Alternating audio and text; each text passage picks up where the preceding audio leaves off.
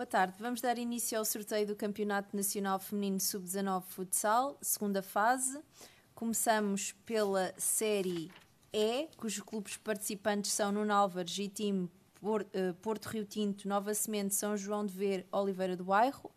Nesta série foi dada a oportunidade aos clubes escolherem uma posição da matriz, tendo todos os clubes escolhido posição.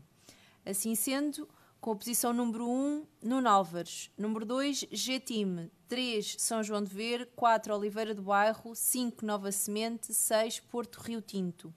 Passando à série F, cujos clubes participantes são Vitória de Santarém, Sporting, Benfica, Leões de Porto Salvo, Quinta dos Lombos, Feijó, Meta Seguros.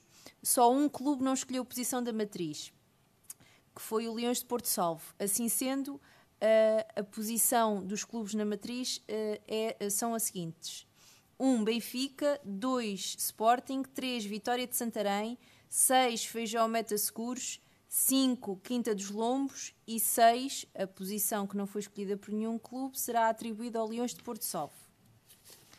Passamos agora para a Série G, cujos clubes participantes são Boticas, Retorta, Viseu 2001, o único clube a escolher posição foi o Viseu 2001, que escolheu a posição número 2. Assim sendo, vamos sortear a posição número 1 e 3, começando com o número 1.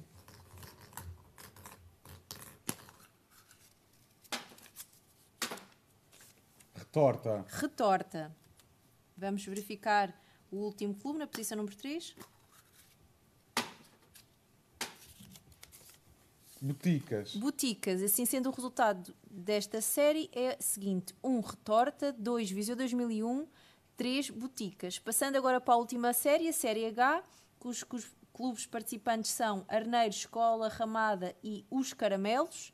Apenas os caramelos não escolheram posição, assim sendo, vão uh, ocupar a posição disponível.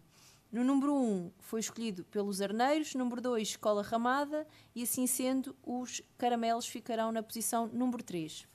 Dou assim por encerrado o sorteio do Campeonato Nacional Feminino Sub-19 de Futsal.